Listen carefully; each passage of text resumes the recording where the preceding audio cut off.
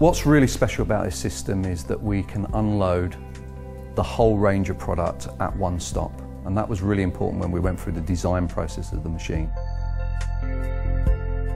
The efficiencies we gain from going over to automation um, come in many forms. Uh, one of the big benefits for us is that we will be able to um, remove vehicles from the road. Um, by going to automated, it allowed us to loose load the product over a cage system that we used to, to use.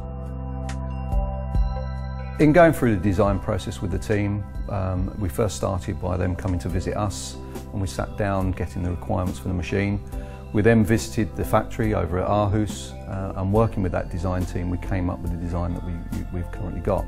We looked at a system that was able us to tip those parcels that were outside the normal range because the sorter sorts anything from a jiffy bag up to a large parcel of 49 kilos and up to 1.3 metres long. It was important for us with the growing market that we're in, and especially with e-commerce, that we were able to grow the machine in the future. So one of the unique design points on this is that we built the machine in such a way that if we wished in the future, we could extend it.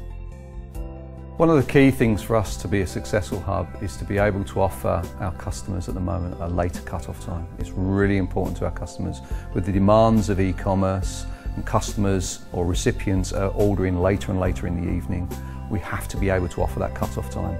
And by going over to the automated sorter, that's allowed us to do that. We couldn't offer that before.